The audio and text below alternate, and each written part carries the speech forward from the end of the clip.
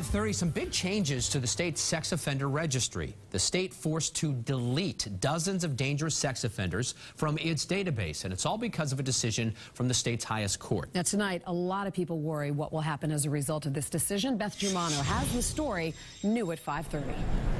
They are faces of predators with lists of their charges on public view in most police stations. And anyone can use the state registry to search for sex offenders in their community.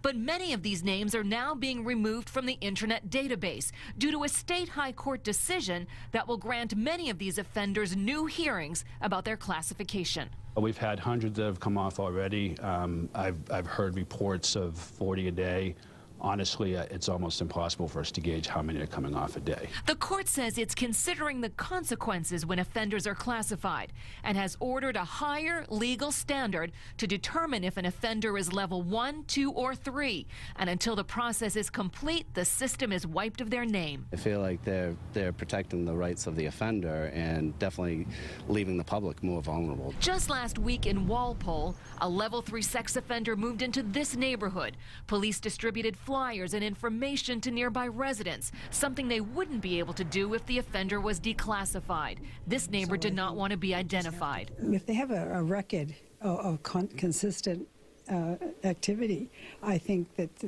there's probably no help and that they're just uh, putting them out there to, to do it again without people knowing about it. The rush to reclassify old cases and consider pending new ones has now created a backlog, and the state board says it could take as long as two years to sort it out and get some of these names published again. It just creates more of a um, environment for them to, to you know, be a predator in. Which is why the board says it will move as quickly as possible so neighborhoods can stay informed.